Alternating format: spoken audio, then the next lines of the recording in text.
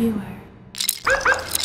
Brussels remains on lockdown for the third straight day as police conduct a major anti-terror operation to find the suspected Paris attacks gunman. They've asked for social media silence from their citizens, but the hashtag Brussels lockdown started trending on Twitter with people posting pictures of cats instead of police raid details. Jens Balmy writes, aircrafts flying over Belgium as if it's breaking news, but it's a cat. Wymera writes, the fierce Belgian police squad will hunt you down. It's all fun and games until Ruzinski tweeted he's under attack. Oh, False alarm. Since terrorists use social media to monitor events, it looks like these felines foiled their plans. The only news that was spilled was fake news. Geert Van Bont writes, they've got him. That's when Steph O'Keefe asks, is it safe to come out yet? While the appropriately named Sides Jokes posted that he's shimmying through the Brussels lockdown, with Shaq of course. But Mr. Mulkey is over it and posted a gif of a cat filing its nails. And Gillies aka Cake hopes everyone stays safe. Belgian police even thanked everyone for their cooperation, writing, To all the cats who helped us last night, help yourselves.